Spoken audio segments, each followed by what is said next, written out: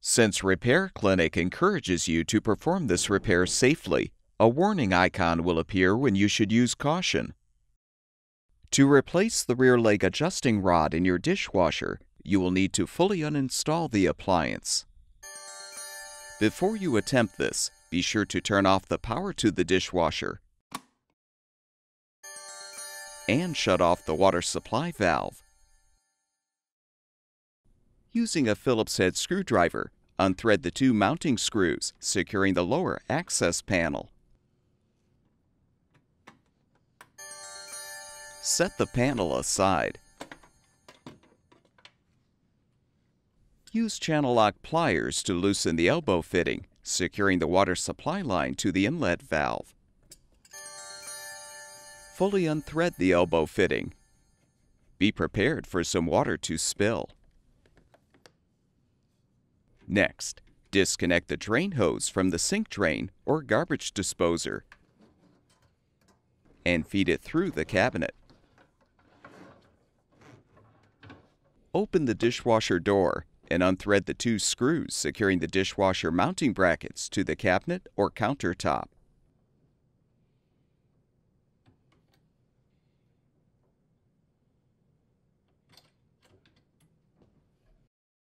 To move the dishwasher, you may need to adjust the legs to lower the appliance. Rotate the front legs clockwise to lower the front. Using the Phillips head screwdriver, rotate the rear leg adjusting rod counterclockwise to lower the rear of the dishwasher. Now gently pull the dishwasher away from the cabinet. To tip the dishwasher back, you will probably need to detach the power supply cord from the junction box. To do this, unthread the screw to release the junction box cover. Note the orientation of the power wires and the grounding wire. Then untwist the wire nuts to disconnect the wires.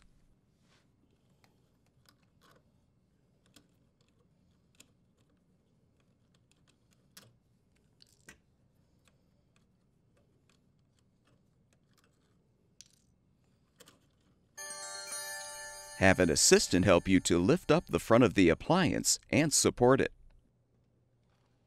Unthread the strain relief nut and detach the strain relief and cord from the junction box.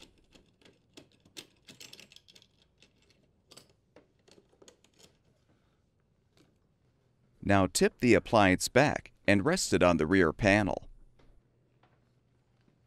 You can now release the tab to detach the old rear leg adjusting rod. Install the new rear leg adjusting rod by inserting the bottom of the rod into the hole in the base, then snap the upper portion in place. Return the dishwasher to its upright position. If necessary, support the front of the appliance. Fully position the power supply cord and strain relief in the junction box. Then thread and tighten the strain relief nut.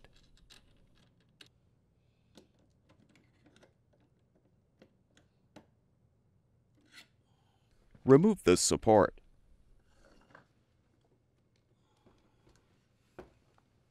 Join the black wires together, the white wires together, and the green grounding wires together, and secure them with the wire nuts.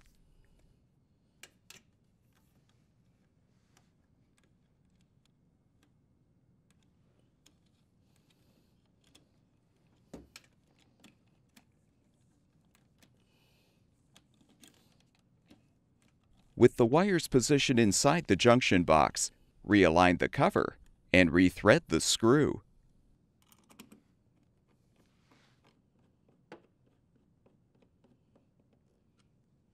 Confirm that the end of the drain hose is accessible through the cabinet wall, and the water supply line is positioned in the channel in the base. Now gently slide the dishwasher back into the cabinet. Extend the front leveling legs if necessary.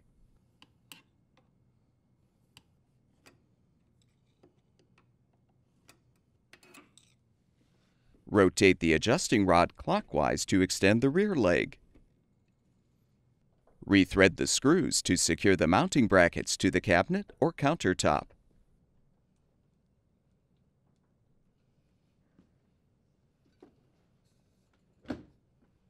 Feed the drain hose through the cabinet and connect it to the sink drain or garbage disposer.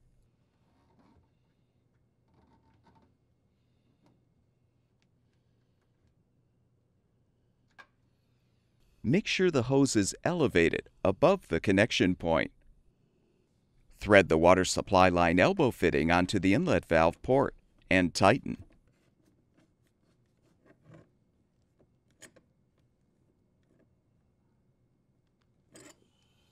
Realign the lower access panel and rethread the screws to secure.